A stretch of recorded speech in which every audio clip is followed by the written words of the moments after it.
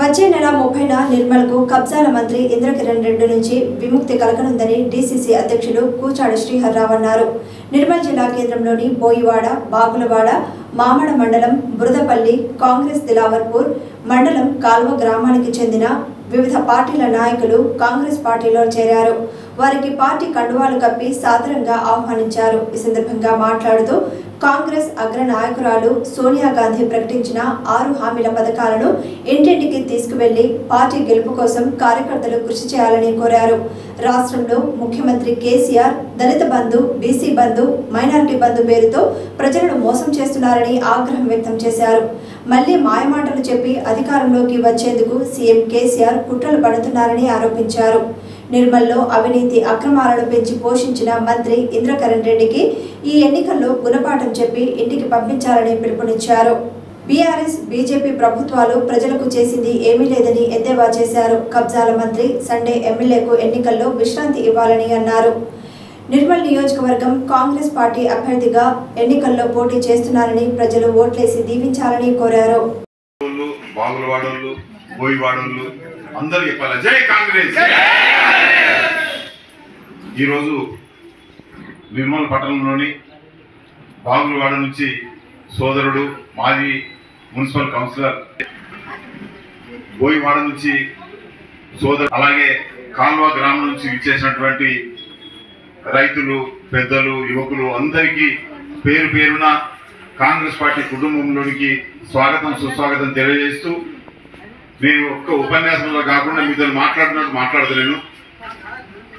అమ్మ జర కొద్ది లేదని ఇల్లే కాదమ్మా.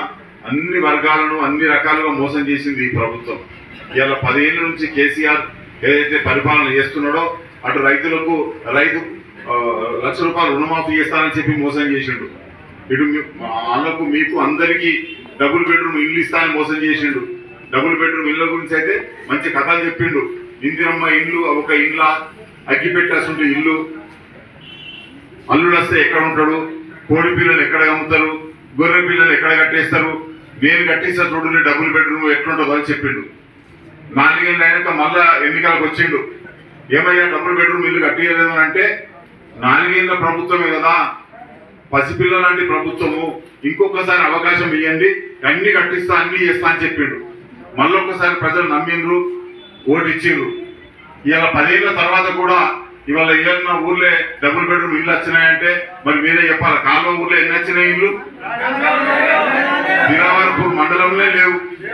సారంగాపూర్ మండలంలో లేవు. మామిడ మండలంలో లేవు. లక్ష్మణచంద్ర మండలంలో లేవు. సోన్ మండలంలో నిర్మల మండలం ఒకటి రెండు ఒకటి రెండు ఊళ్ళల్లో అయినాయి అంతే. ఆందోళన పడుతుంది ఏడుస్తా ఉన్నది. మరి అన్ని వర్గాల ప్రజానికాన్ని మోసం చేసినటువంటి ప్రభుత్వం ఈ ప్రభుత్వం. ఇవల్ల తెలంగాణ ఇస్తానని చెప్పి సోనియా గాంధీ తెలంగాణ ఇచ్చి తీరింది. ఇచ్చిందా లేదా? తెలంగాణ ఎవరు ఇచ్చిండ్రు? తెలంగాణ ఎవరు ఇచ్చిండ్రమ్మా? తమ్ముడు చెప్పాలా రవి. తెలంగాణ ఇస్తానని చెప్పింది కరీంనగర్ మీటింగ్లో వాగ్దానం చేసింది. తెలంగాణ ప్రజలు కోరుకున్న విధంగా అరవై ఏళ్ళ తెలంగాణ ప్రజల పోరాటం వందలాది మంది యువకులు పెద్దలు అనేక మంది ప్రాణాలు తీసుకొని పెట్రోల్ మంటల్లో మాడి మసైపోతూ జై తెలంగాణ జై తెలంగాణ. మా తెలంగాణ మాకు కావాలా? నేను చచ్చిపోయినా పర్వాలేదు. మా యువకులకు మా అన్నదమ్ములకు మా అక్క చెల్లెలకు ఉద్యోగాలు వస్తాయి. మా రైతులకు మా నీళ్ళు వస్తాయి.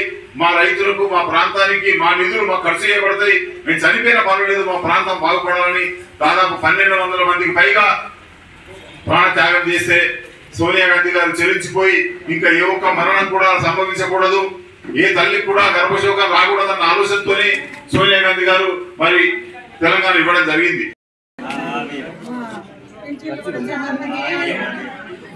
మీ అందరికి దయచేసి ఏమనగా మేము మనం చేసుకుంటున్నాము కొంతమందికి పెన్షన్లు వచ్చినాయి కూడా వాళ్ళని ఇవ్వలేరు కూడా. కొంతమందికి ఇండ్లు వచ్చినాయి వచ్చినాయి కూడా కొట్టేసిండ్రు. ఉన్నోళ్ళకు ఏమో ఇచ్చిండ్రు లేని వాళ్ళకేమో ఇవ్వలేదు అదొక ముఖ్యమైన విషయము. ఇప్పుడు ఎందుకంటే వికలాంగులు ఉన్నారు. వాళ్ళకు నాలుగు వేలు చేసిండు. బీడి కార్మికులు భర్తలు ఉన్నోళ్ళు లేనోళ్ళు వాళ్ళకు రెండు వేలే ఇస్తున్నాడు. ఇది ఎంత సమర్థితమని మేము మాట్లాడుతున్నాము. ఇప్పుడు గ్యాస్ సిలిండర్ ధరలు అంటే పన్నెండు వందలు వెయ్యి రూపాయలు పదకొండు వందలు అంటే మేము కష్టం చేసుకొని కష్టజీవులను ఎక్కడి నుంచి దేవాలో మేము? ఎక్కడ పెంచాలా ఎక్కడ చేయాలా మేము ఏం బతకాలా ఏం చేయాలా? హజార్ బీడీ వేసుకుంటే వెయ్యి- రెండు వందలు ఇస్తున్నారు. పొద్దురిండా వేస్తే మేము పొద్దురిండా హజార్ బీడీ చేయిస్తామా చేయగలుగుతామా? మేము పెద్ద మనుషులం ఏం చేయగలుగుతాము? ఏం చేయలేము. లేని వాళ్ళకు ఇండ్లు ఇవ్వాలా పింఛన్ లేని వాళ్ళకు పేద వాళ్ళకు పింఛన్లు ఇవ్వాలా గ్యాస్ ధరలు దించాలా? అని మేము కోరుకుంటున్నాము. సెలవు.